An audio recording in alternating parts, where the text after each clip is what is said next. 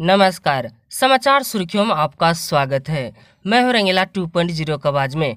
पहले देश दुनिया की खबरों के साथ। तुर्की सीरिया में आई भूकंप से तबाही। आसपास का देश में खामोशियों का मंजर।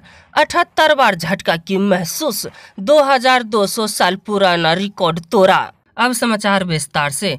तुर्की के कहरम नमारम शहर से भूकंप का केंद्र रहा, जो कि 7.8 की तीव्र झटका से पड़ोसी देश सीरिया को भी नहीं छोड़ा साथ। विश्व के मानचित्र पर देश का नक्शा समेत सपनों जैसा शहर भूकंप में ध्वस्त 2200 साल पुराना रिकॉर्ड तोड़ा। हमारे एक्सपर्ट, संवाददाता और कई अनुसूत्रों का कहना है, पाँच फरवरी सुबह चार बजकर सत्रह मिनट पर तुर्की के कहराम नमारम शहर से 7.8 की तीव्र झटका से आई भूकंपों से 10 फीट ज़मीन दब गया है और 150 किलोमीटर दूरी तक 10 फीट ज़मीन का सतह खिसक गया है। जरा इस वीडियो को ध्यान से देखिए।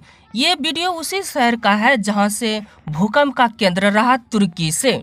हमारे संवाददाता एक्सपर्ट के मुताबिक से ये भी कहा गया है, इस इलाके क्षेत्रों को तीन महीनों तक भूकंप प्रभावित इलाके क्षेत्र जोन में रखा गया है। अब तक में पचास हज़ार नागरिकों से भी ज़्यादा व्यक्तियों की मौत, लाखों की संख्या में घायल तुर्की, रूस मिलाकर कई शहरों में।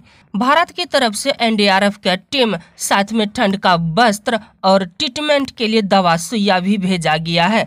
विश्व का नंबर वन पहला व्यक्ति हेल्प मदद करने में जुटा है तुर्की के साथ। तुर्की के नागरिक एक तरफ़ तो ज़िंदगी और मौत से जूझ रही है, भूकंप और ठंड से।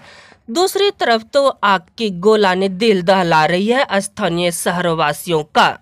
तुर्की सीरिया के जिस शहर में भूकंप आया है, लगभग तीस वर्ष पीछा चला गया। क्या बनेगा सपनों जैसा शहर और महल?